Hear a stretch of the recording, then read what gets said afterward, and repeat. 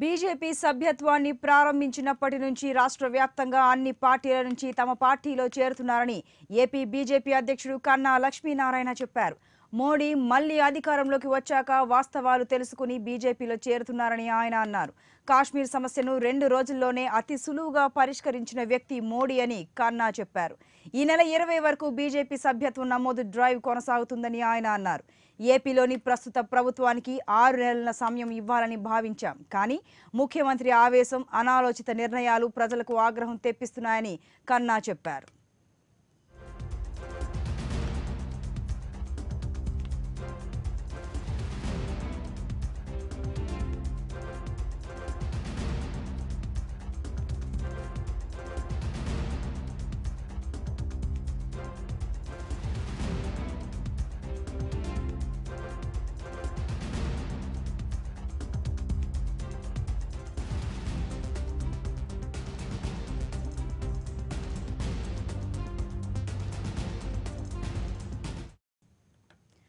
BJP సభ్యత్వాన్ని ప్రారంభించినప్పటి నుంచి రాష్ట్ర వ్యాప్తంగా అన్ని పార్టీల నుంచి తమ పార్టీలో చేరుతున్నారని ఏపీ బీజేపీ అధ్యక్షుడు కన్నా లక్ష్మీనారాయణ అన్నారు.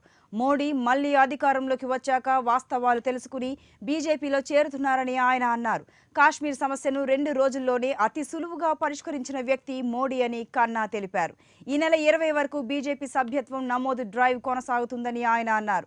ఏపీలోని ప్రస్తుత ప్రభుత్వానికి ఆరు నెలల సమయం ఇవ్వాలని భావించాం. కానీ ముఖ్యమంత్రి ఆవేశం అనాలోచిత నిర్ణయాలు ప్రజలకు ఆగ్రహం తెప్పిస్తున్నాయని కన్నా చెప్పారు. ఇక కన్నా కామెంట్స్ పై మరింత సమాచారం మా ఏపీ బ్యూరో చీఫ్ సుబ్బారావు అందిస్తారు సుబ్బారావు అటు ఆంధ్రాలోను ఇటు తెలంగాణలోను ఆపరేషన్ ఆకర్ష్ అనే దానితోటి మంచి జోరు మీద ఉన్న బీజేపీకి ధర్నా చేయాల్సిన అవసరం ఎందుకు వచ్చింది? సంతోషి రాష్ట్ర ప్రభుత్వం యొక్క పరిపాలన వైఫల్యాలపైన బీజేపీ తీవ్ర స్థాయిలో యుద్ధానికి రంగం సిద్ధం చేస్తా ఉంది. ఇప్పటి వరకు కూడా చూసుకుంటే కనుక పార్టీ భారతీయ జనతా పార్టీ విస్తరణ లక్ష్యంగా సంఘ్ పరిపా ఏదైతే సంస్థలు ఉన్నాయో వాటన్నిటిని కూడా కలుపుకొని వాటన్నిటి కూడా పార్టీ ముందుకెళ్తున్న పరిస్థితి ఉంది. ఇప్పటికే ఇటు వైఎస్ఆర్ కాంగ్రెస్ పార్టీ నుంచి కూడా అధికారంలో ఉన్నటువంటి ఆ పార్టీ నుంచి కూడా బీజేపీకి కొంతమంది నాయకులు దిగువ శ్రేణి నాయకులు పార్టీలోకి చేరడం కూడా జరిగినటువంటి పరిస్థితి ఉంది. ఇవన్నీ చూసుకున్న తర్వాత ఇక చూస్తే మిగిలిన రాష్ట్ర ప్రభుత్వ పరిపాలనా తీరు పైన కొంత సమయము కొంత గడువు ఇవ్వాలని చెప్పేసి కూడా బీజేపీ మొట్టమొదటి చెప్తా ఉంది. ఆ గడువుని ఆరు నెలల మేరకు కూడా నిర్ధారించిన పరిస్థితి ఉంది. నిన్న బీజే భారతీయ జనతా పార్టీ నుంచి రాజ్యసభకు ప్రాతినిధ్యం వహిస్తున్నటువంటి జీవీఎల్ నరసింహారావు నిన్న విజయవాడలో మీడియాతో మాట్లాడుతూ కూడా ఆరు నెలల పాటు రాష్ట్ర ప్రభుత్వాన్ని మేము పూర్తిగా పరిశీలన చేస్తాం వారు ఏమైనా తప్పులు చేసినా సు- సున్నితంగానే హెచ్చరిస్తాం.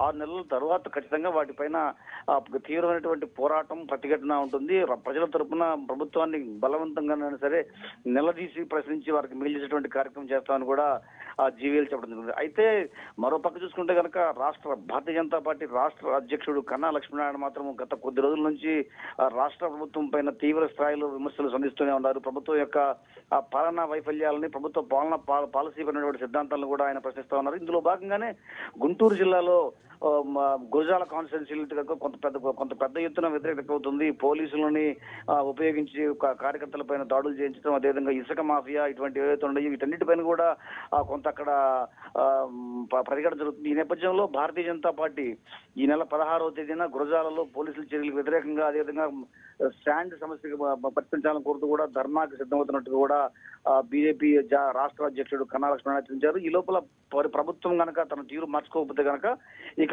భారతీయ జనతా పార్టీ ప్రత్యక్షంగా ఆ, ప్రభుత్వం పైన ఆరోపణలకి ఆందోళనలకి సిద్ధంగా ప్రకటించడం జరిగింది. సుబ్బారావు అటు మరో పార్టీ కూడా అంటే జనసేన కూడా అధికార పార్టీకి వంద రోజుల సమయం ఇచ్చింది. ఇటు చూస్తే కన్నా లక్ష్మీనారాయణ ఏమో ఆరు నెలల గడువు ఇద్దామని అనుకున్నామని ఏం చెప్తున్నారు? మరి ఎవరికి వారు ఆయా పార్టీలు అధికార ప్రభుత్వానికి సమయం ఇవ్వాలనుకుంటున్నామని చెప్తున్నారు కదా? మరి వైసీపీ నుంచి ఎటువంటి వర్షన్ వినిపిస్తోంది? వైసీపీ నేతలు స్పష్టంగా చూస్తే కనుక వైసీపీ నేతలు దీన్ని సహజంగానే తాము అధికారంలో ఉన్నాం ప్రతిపక్షంలో ఉన్నటువంటి వాళ్ళను అధికారంలోకి రావాలని కోరుకున్నటువంటి వాళ్ళు రాజకీయపరమైనటువంటి ఆరోపణలు చేస్తారు. తాము అద్భుతమైనటువంటి పరిపాలన అందిస్తా ఉన్నాం.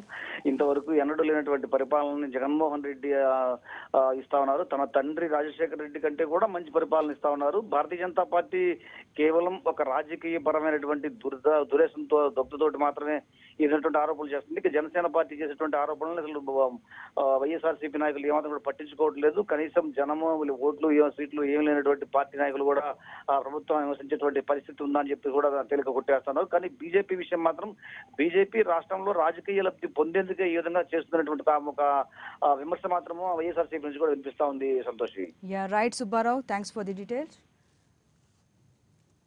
కొన్ని వందల మంది అన్ని పార్టీల నుండి కాంగ్రెస్ పార్టీ నుండి తెలుగుదేశం నుండి జనసేన నుండి ఆఖరికి వైఎస్ఆర్ కాంగ్రెస్ పార్టీ నుంచి కూడా ఈరోజు నరేంద్ర మోడీ గారి నాయకత్వంలో పనిచేయడానికి అని ముందుకు వస్తూ ఉన్నారు. అలా జరిగినటువంటి ఒక దుష్ప్రచారంతో అలా జరిగిపోయింది. పంతొమ్మిది తర్వాత దేశం మొత్తం నరేంద్ర మోడీ గారిని నాయకుడిగా మళ్ళీ తిరిగి ఎన్నుకున్న తర్వాత ప్రజలు వాస్తవాలు తెలుసుకోవటం మొదలుపెట్టారు. వాస్తవాలు తెలుసుకోవడం మొదలుపెట్టినప్పటి నుంచి మనకి నరేంద్ర మోడీ గారి నాయకత్వంలో పనిచేయడానికి